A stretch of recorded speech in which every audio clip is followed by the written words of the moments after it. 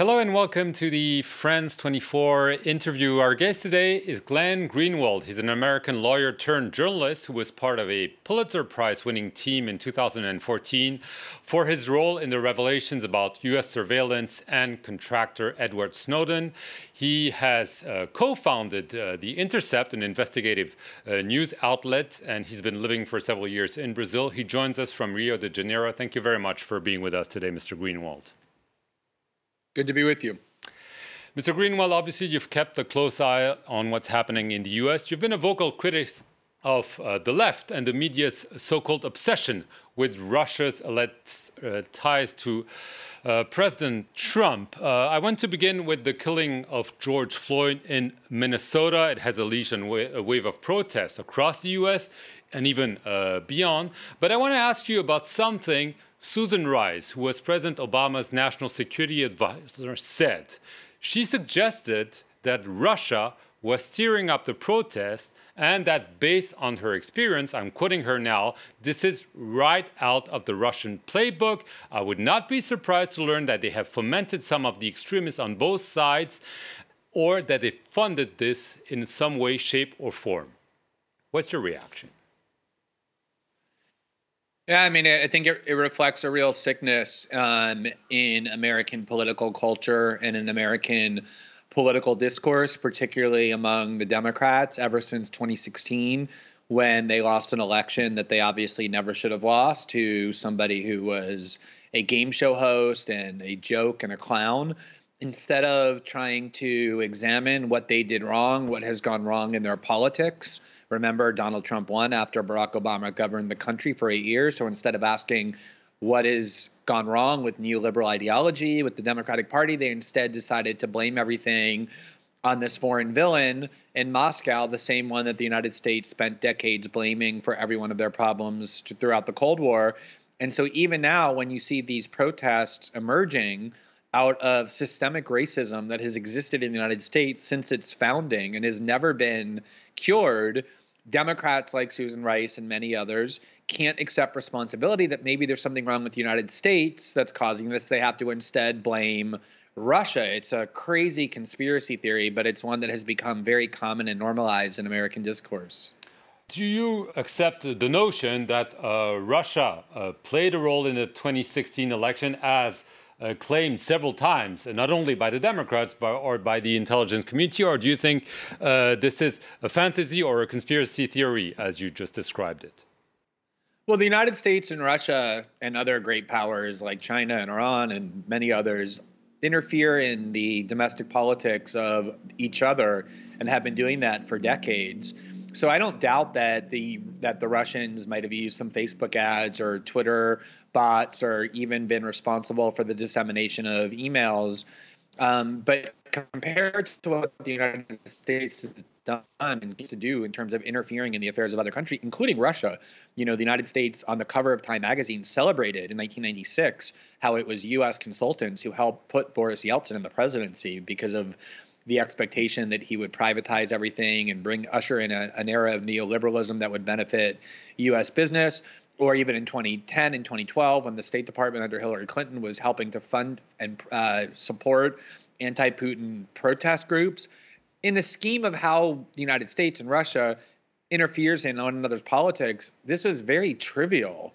What is being alleged, even if it's all true, it's again just an attempt to shift blame away from any attempt to engage in self analysis and self criticism and pin it on a foreign power. Something that all failed governments and failed ideologies love to do is to say, hey, it's not our fault. Let's unite in opposition to this foreign enemy over there. I want to uh, get back to the current uh, protest. Uh, would you say Donald Trump uh, might be losing the election right now, or actually the divisiveness uh, that he has used over and over again uh, might help him uh, pull out another upset in uh, November. It's it's hard to say. You know, in in the 1960s, there's no question that the riots and protest and social disorder that came about because of the civil rights movement and the reaction to it, the Vietnam War, the assassination of Martin Luther King, created a perception among a lot of Americans that there was insufficient law and order in the United States, and that enabled a right wing candidate, Richard Nixon, to win the presidency in 1968 on a platform of bringing in more authoritarianism, strengthening the police.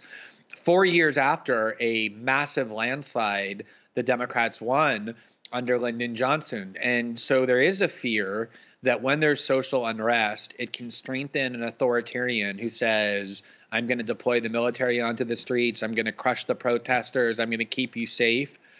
But I really doubt that this can work this time because so many Americans across the political spectrum have seen so many of these instances now because things are captured on video in a way that they weren't even 10 years ago of the police using unrestrained violence against innocent people and particularly African Americans that the cause of the protests are so is so just.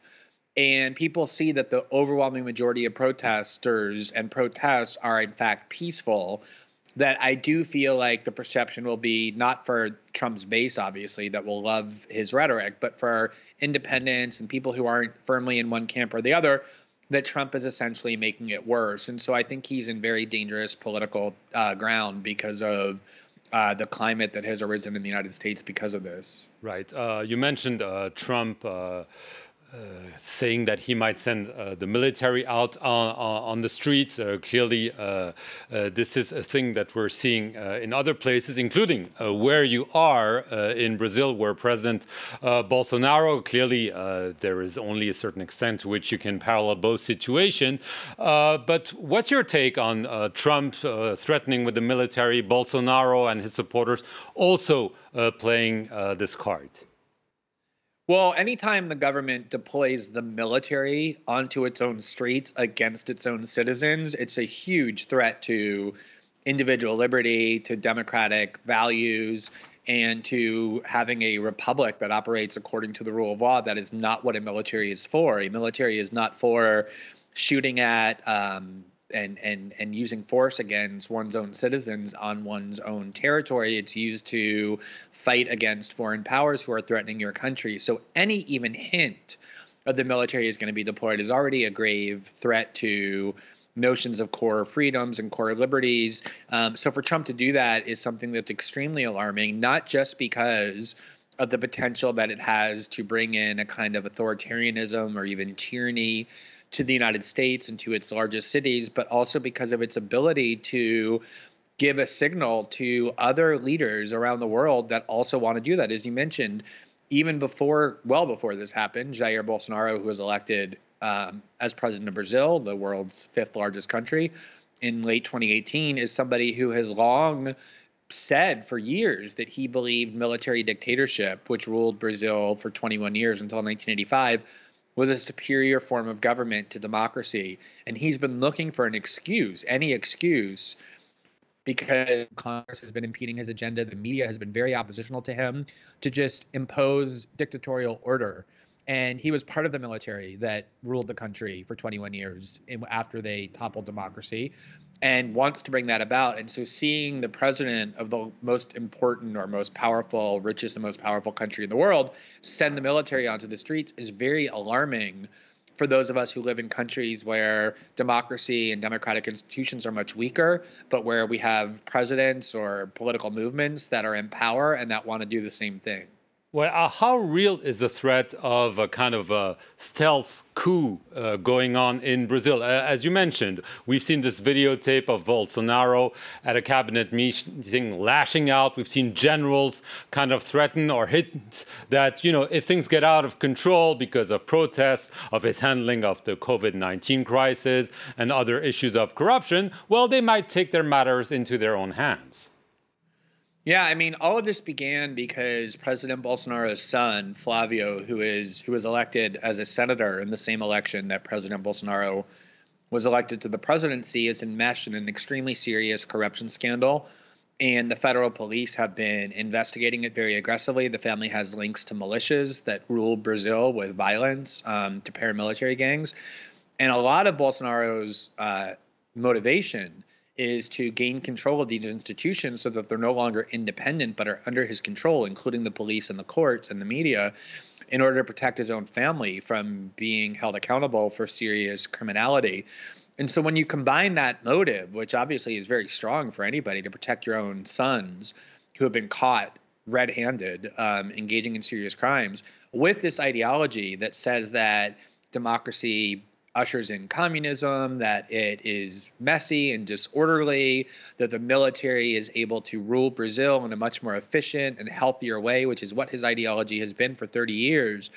The danger, especially when you add to it things like everybody being confined to their homes, people losing their jobs by the millions, a global pandemic, now there's starting to be conflicts on the streets between fascist groups and anti fascist groups of the kind that was motivated by the protests in the United States that have spread elsewhere, including to, to France, I know. Um, the the situation is very, very dangerous. It's very, very volatile. Is democracy um, in danger in Brazil? Have courts and Congress. Yeah, absolutely. It's in danger in Brazil. You know, when you start when the when the question starts to be, is the military on Bolsonaro's side or is the military on the side of democracy, which is the question that everybody's asking. It already means that democracy is so threatened that it's essentially in the hands of the military to decide. And that's something that the world should really care about because Brazil is a very influential country with a lot of important assets, including the Amazon. And to watch democracy disappear in Brazil could be something that could have really serious repercussions for the world. Glenn Greenwald, thank you very much. That's all we have time for. And thank you for watching this interview here on France 24.